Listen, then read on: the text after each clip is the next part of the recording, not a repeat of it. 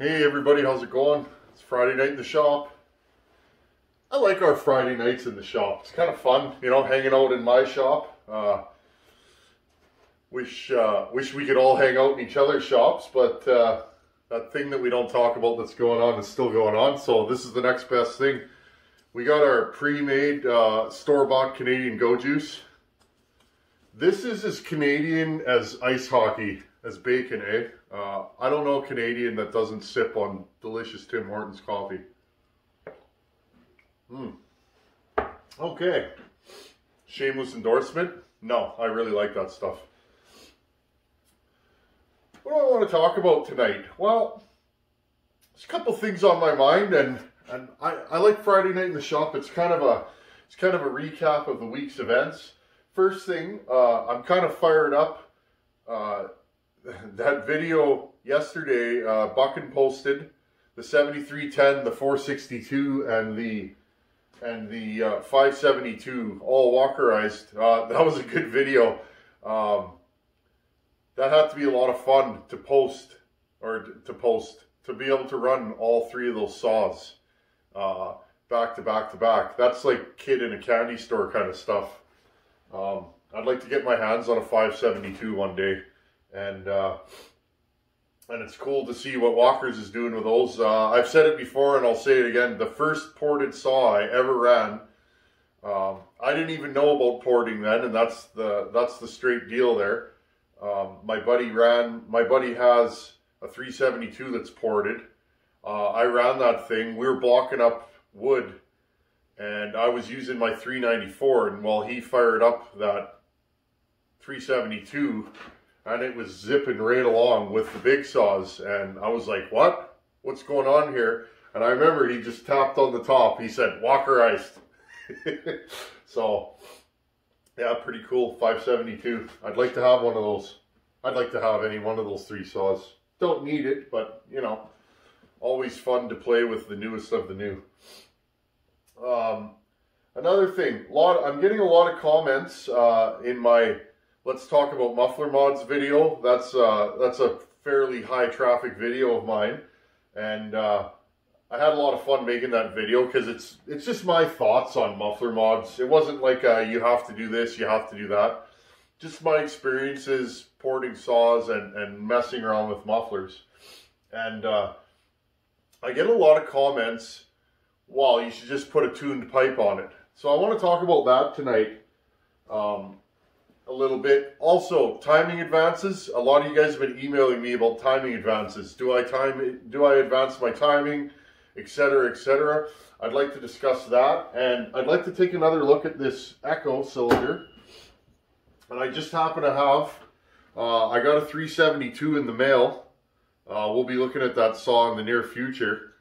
Um, another build I'm going to do for somebody. And uh, I just happen to have a, uh, a 266 cylinder right here. I want to compare the 670 Echo to the 266.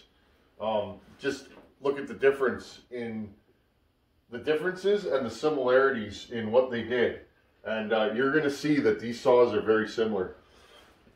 Okay, so let's talk about mufflers again. You know, your your typical here, here's one. Here's the here's the here's the echo muffler that we did. I'll put the light on here. There we go. Okay. Your typical box muffler, we gutted that out. You can see she's completely hollow now. Uh, I think I'm going to do more modding to this once this saw's ported. Okay, so you have this, or you have this. Uh, this is a this is the pipe off of my YZ490. We are going to get to that project one day. That has been on the channel. If you go way back, um, it's just time and getting parts. And um, I kind of started on the bike and then I, uh, I didn't lose interest, but the chainsaws have been taking up most of my time.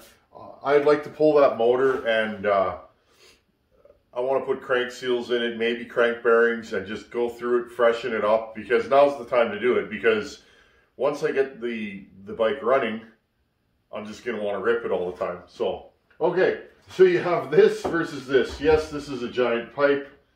Um, I get a lot of comments, well, you should just put a tuned pipe on it. Yeah, you could, But here's the deal with that, guys. Um, tuned pipes take up a gigantic amount of space. Okay? Like, I know this one's giant, but you guys get the idea there. Now, I don't build hot saws. If you're building a hot saw, yeah, you put a tuned pipe on it um, with an expansion chamber and and all that. There's uh, there's computer programs you can use to calculate it. Um, I, I, get that mentioned a lot. Um, I'm aware of those programs, but here's the thing: when you're done doing your calculations, you're going to get a giant pipe like that. Um, I'm I'm very familiar with two strokes dirt bikes. Uh, uh, 500cc GP bikes. Like I, am a I'm a huge motorcycle fan, and if you look at a, a, a, a race bike from that era, from the 70s, 80s, look at the size of the pipes on there. Um, there's there's an old joke. I wrote it in a two stroke, or I read it in a two stroke um, book about tuning two strokes. There's an old joke. Uh, the pipe designers engineers knew they have the pipe the right size when the bike's unrideable, and it's true.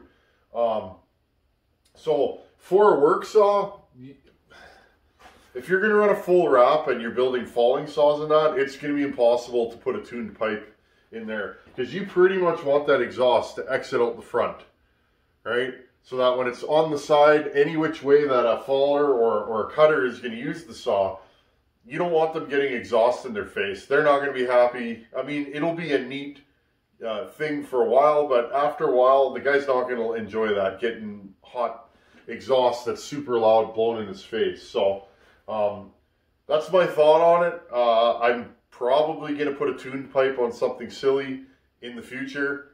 Um, I might build a hot saw, I'm not going to lie, just because I'm bored and it's winter and what do we do in winter? We drink go juice. Hang out in the shop. Okay, so for those of you that have asked, that's why I don't put expansion pipes on there because these are, every saw I build is a work saw.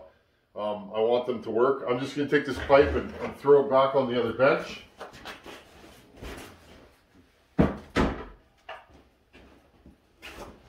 Okay, so that's number one. Number two, timing advances. I get asked this all the time.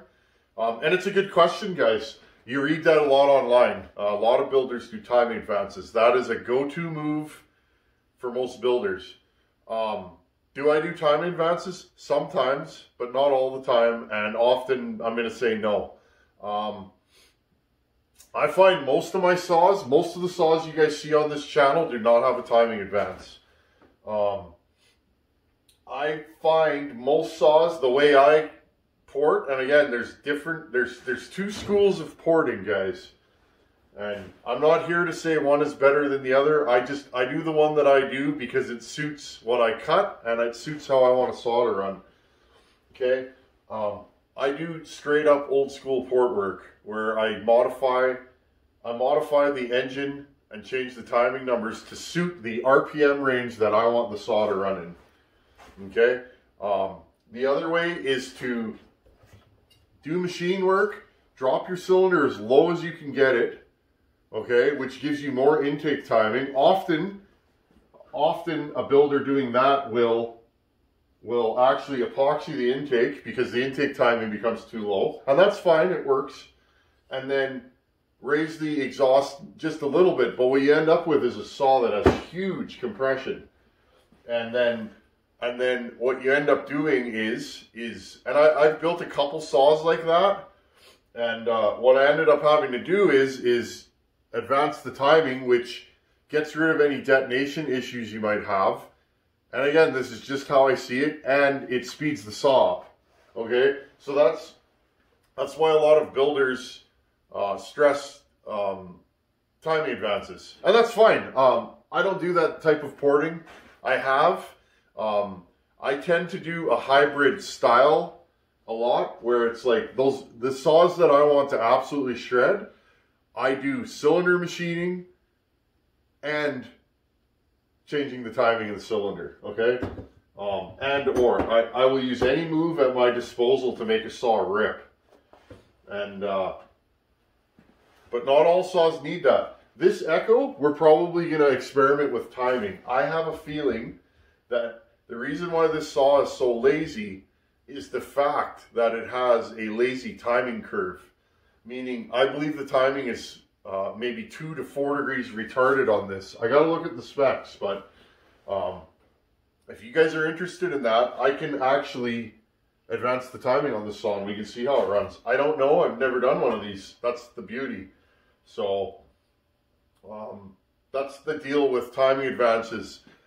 Try it. Some saws will really like it. Some saws, you, they're they're going to be unhappy with the timing advance. So, and that's the thing, guys, with porting. Um, there's no magic moves to make any saw rip.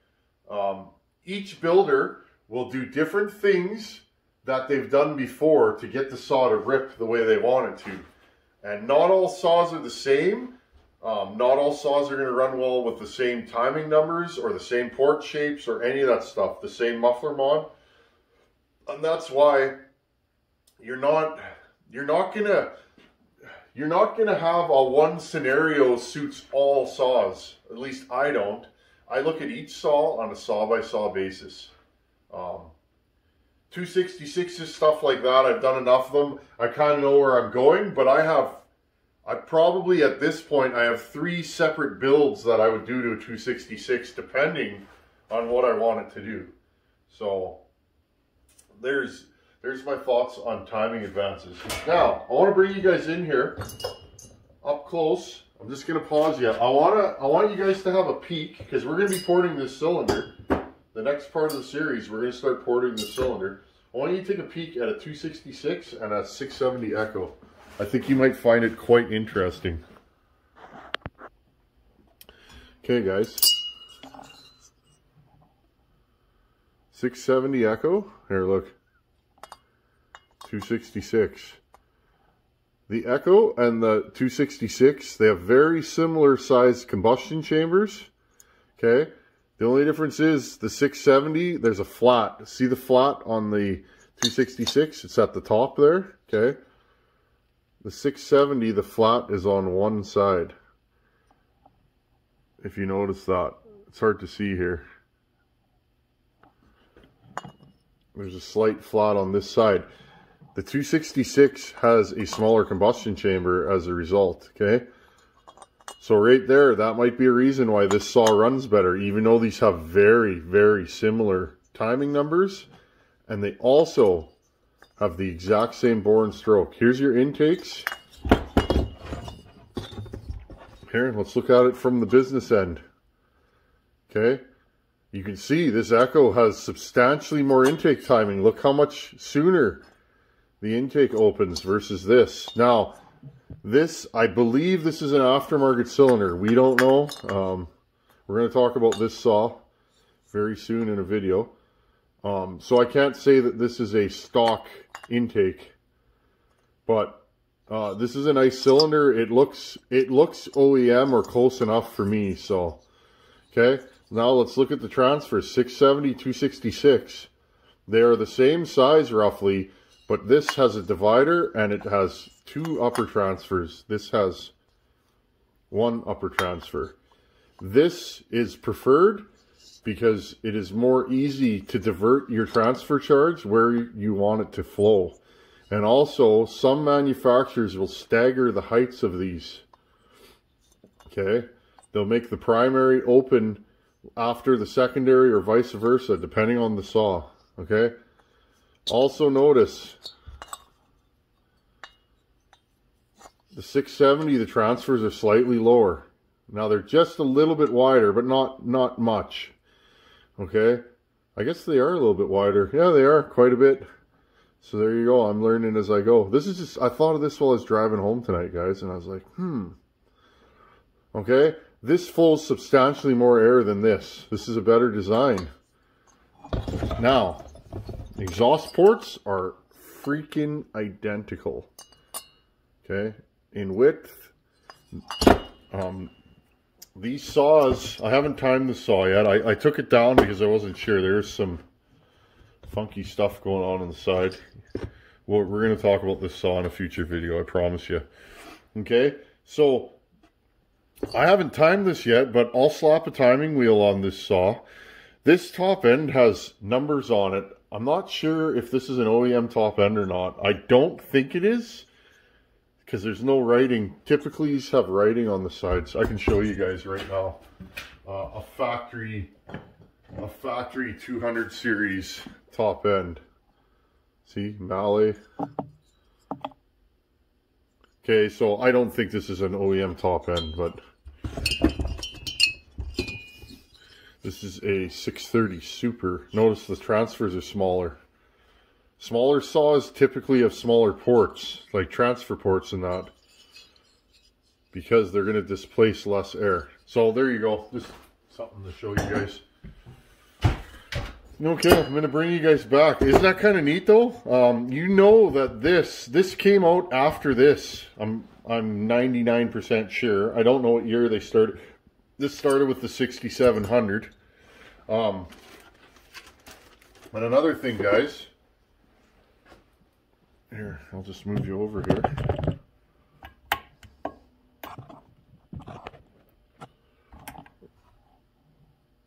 Look how similar these pistons are. Husky piston, Echo piston. I guarantee that you could, if you guys need a piston for your Echo 670, I'll bet you money that you can interchange these. Something going on here with this one. Again, we'll talk about this saw in the near future. I just, I wanted to pull it out and have a look see. Okay, I'm just going to bring you guys back so you can see me, my beautiful face. Hold on a second. Okay, I thought you guys would find that interesting. A lot of interest in this project. Don't worry guys, this saw will be done. I could have done this whole saw in a weekend, but I mean, you guys want to learn stuff and I want to teach you. So, um, again, entry level. Um, Buckin pulled out the, the hot rod Homelite.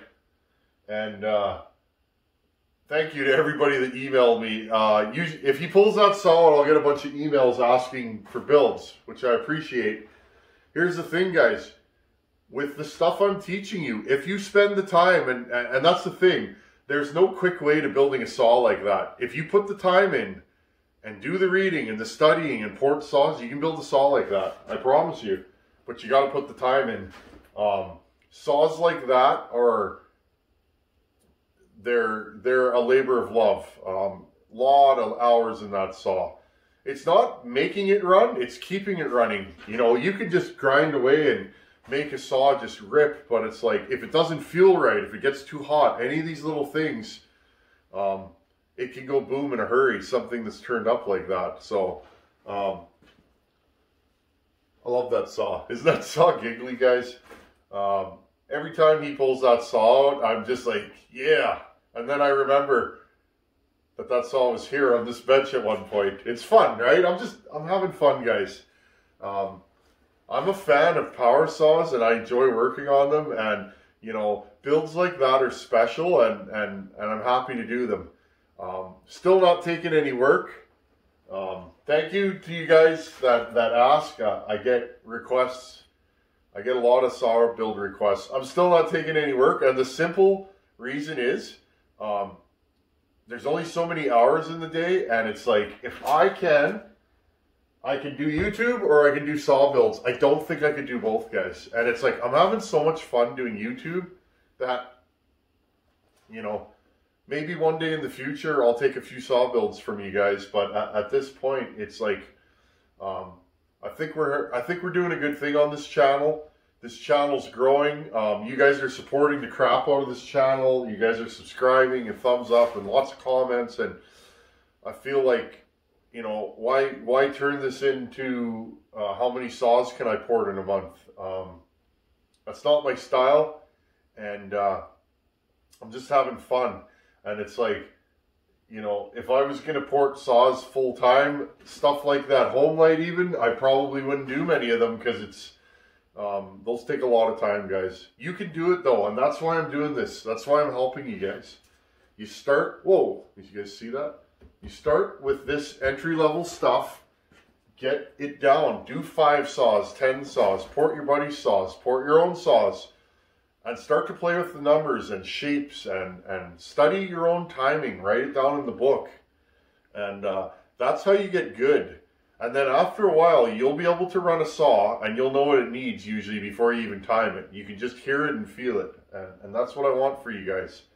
Um, and you know, it, it takes it takes dedication because once in a while you're going to build one that's really good and the numbers are going to be the same and then you're going to have to tear it down and go what did i do here and sometimes it's the most minute detail that you overlook that you go wow i got something here um, that's where the magic happens guys. Other times you know other times uh, i was talking to my buddy today about um, when you build an awesome saw and it lets go and it's like you know anybody that builds power saws once in a while you have that random weirdo failure no rhyme or reason. And uh, i was talking to a buddy today and he built a 394 husqvarna. Saw ran perfectly. Brand new crank brand new brand new bearings oem piston oem cylinder the crank let go in the middle of a bore cut he don't know why um, it happens, guys, and uh, it's uh, when that does happen, you got to get right back on the horse. That's that's the game of being a saw porter. You don't go out of your way to bowl saws up, but you know things are going to happen. Um, at some of these saws in the cut are 12, 13,000 RPM, guys. That's a lot. Think how many times this piston's going up and down every second. There is no room for error, and things can go wrong really fast. So, and I think that's why I play with these things because, yeah, they're, they're a simple machine, but they're very complex and they're very, very finicky. Um, I've worked on a lot of different engines and it's like these things, these things intrigue me because there's like no room for error. They run the ragged edge of sanity when you turn them right up. And I love that stuff. so, okay, well, that's Friday night in the shop. Um, we're going to start porting this Echo. We're going to start on the transfers. Thank you to everybody that's watching this uh, progress. Um, I'm having fun showing you guys, you know, a little little bit of the things that I do. I'm trying to give you guys the basics of how to get going. Because I remember when I started porting, I thought I knew what to do, and then I started porting and I went, what about this, what about that? And then I'm trying to scour the internet looking for information and it's like a lot of times it's not there. So and uh, all you guys can do is, is, try what i'm showing you or don't. I, I mean that's the thing guys. I don't know everything. I just know what i know.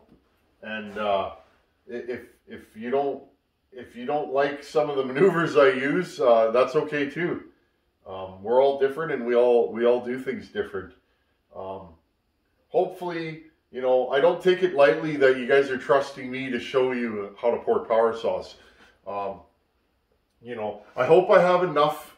I don't have every saw I've done on my channel, but it's like I hope there's enough saws on my channel that you guys kind of get a feel for what I do and what I won't do.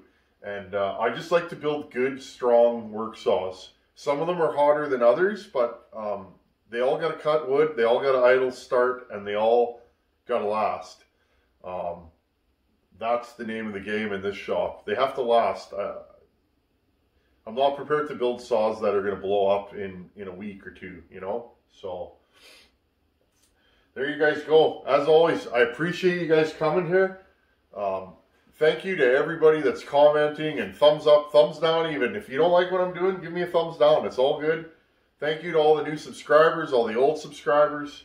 And uh, thank you to everybody who is offering support to this channel. Um, it, it really, it really blows my mind that you guys will send me stuff to help me out. And it does help, guys, believe me. Um, during this pandemic we've been having on, it's been really hard to get parts, saws, just whatever. You guys are really, really helping me out. Like, seriously, um, it takes me back. Um, it just makes me want to try harder and do more and more videos and better videos. And you guys are making that happen. Um, no one man can can do everything, and it's like you guys are doing me solids. The the the support. Thank you guys. I could ramble on about you guys helping me out. It it it it's it just feels good that you guys like what I'm doing enough to, you know, to send me screws or whatever, right? It, it, even the smallest thing, guys, um, the smallest thing really helps. Um, it, it, really does. It, it doesn't matter. Um, all those little things is is just it's amazing, guys. I know I'm kind of babbling on here, but that's how I feel. And if I feel a certain way, I'm going to say it. And uh, anyhow, guys, Friday night in the shop, we made it through another week. Uh, we got a winter storm front rolling in here, so I don't know what that's going to bring, but it could be some interesting driving. And if it is, we'll film it. Okay, guys. Drink your Tim Hortons coffee. No, I'm just kidding. As always, thanks for watching. Take her easy. I'll see you guys in a couple days. Later.